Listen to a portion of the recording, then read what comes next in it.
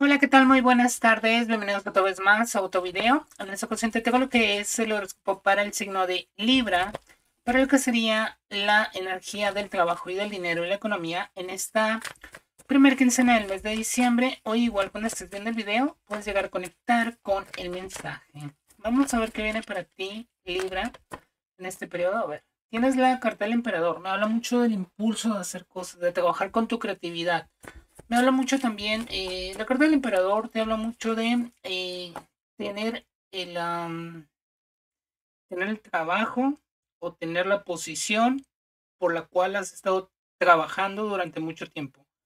La templanza me habla mucho también de conectar mejor con tu luz, con tus guías, eh, empezar a utilizar más tu creatividad. Me están diciendo ah, trabajo interior, tu trabajo interior te está ayudando mucho a conectar con la abundancia, la templanza te habla mucho también de ese equilibrio, tener ese temple, ese carácter, esa capacidad de comunicación con, em, pues con tu conciencia superior y también con las demás personas, con tus clientes, con tus compañeros de trabajo, con tu familia, etc.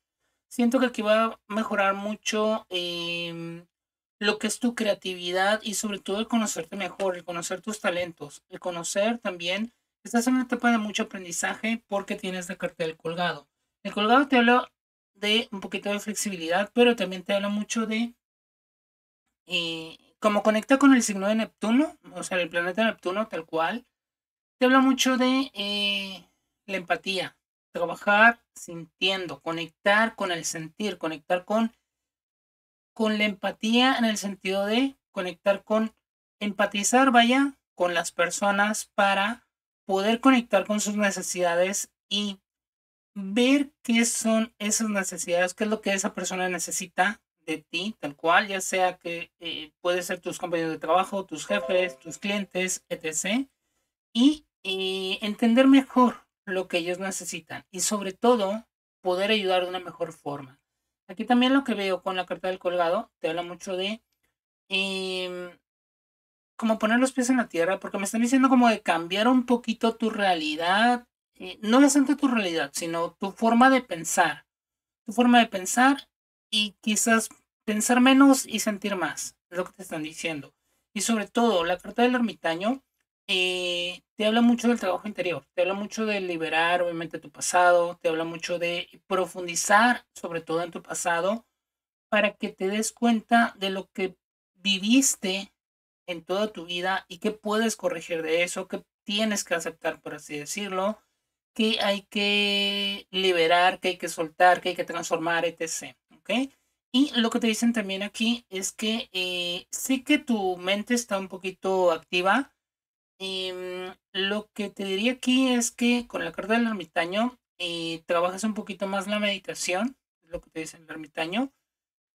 Hagas un poquito más la meditación para poder calmar tu mente. No es tanto de silenciar tu mente, sino dejar fluir las energías, conectar, vuelve a lo mismo, conectar con el sentir, porque tanto el ermitaño como el colgado nos habla mucho del sentir. Conectar con el sentir y sobre todo con el sentimiento, vaya. Y el emperador y la templanza, estás como en este proceso de transformación. Si te fijas aquí, el emperador te habla mucho más de la acción y la templanza te habla mucho más incluso del pensamiento. Entonces, Aquí lo que te habla es de encontrar ese equilibrio entre el pensar y el sentir, que es lo que está haciendo acá el ermitaño y el colgado. Y me habla mucho también del emperador, pues tiene que ver mucho con transformar a través de la acción sobre todo, y sobre todo, todo a través de la organización de la estructura, eh, transformar tu pasado en algo que te sirva en este momento. Y sobre todo, la carta del ermitaño es transformar el pasado en amor, en sabiduría, para que eso que te sirva realmente sea positivo. ¿Por qué? Porque puede ser, ojo, que eso que estés transformando sea una eh, herramienta para protegerte, una herramienta para eh, justificarte y que sí te puede servir, pero que eh, no sería como muy positivo. Entonces, creo que está, en este aprendizaje está la parte de entender mejor tu pasado para poder trabajarlo y transformarlo en cosas, en sabiduría, sobre todo en cosas positivas, Pero sobre todo, la carta del colgado te está diciendo, estás en una etapa donde en este momento no te puedes mover porque es momento como de darle, eh, como de cambiar tu forma de pensar o de entender mejor por qué estás pensando ciertas cosas, por qué están llegando ciertas cosas a tu mente, por qué estás soñando ciertas cosas, etc. Porque incluso también tiene que ver mucho con, con el mundo de los sueños, porque es Pisces. Y lo que te dicen aquí también es trabajar un poquito más la parte energética. Entonces, Em, conectar con tu espiritualidad, conectar contigo, conectar con tu corazón, conectar con tu energía, con tu alma tal cual, con tu conciencia superior y dejar tanto la parte de la reacción, ojo, del impulso y trabajar mejor con el sentir y sobre todo con la empatía con los demás. Creo que la empatía te va a ayudar mucho a conectar mejor con las personas y sobre todo no es tanto el, conocimiento, que claro que funciona y ayuda muchísimo. Y ese conocimiento te va a ayudar mucho a resolver mejor todos los problemas que tengas pues en el trabajo. O sea, resolver de una forma mejor y más fácil, ¿no?